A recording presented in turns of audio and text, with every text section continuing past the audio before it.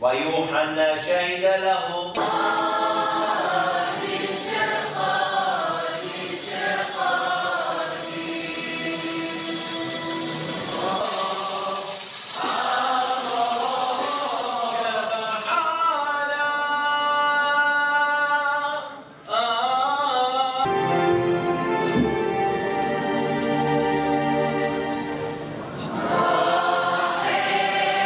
خطاياكم واذكروها في صدوركم.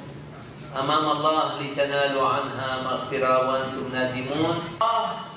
بالنسبة للإنسان كلا لم يكن هنالك حياة.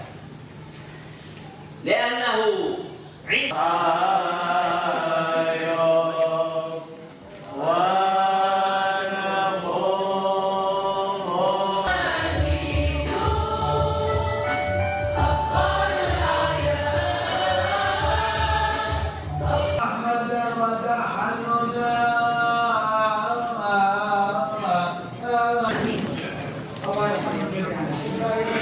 مستعد أن يتناول القرآن المقدس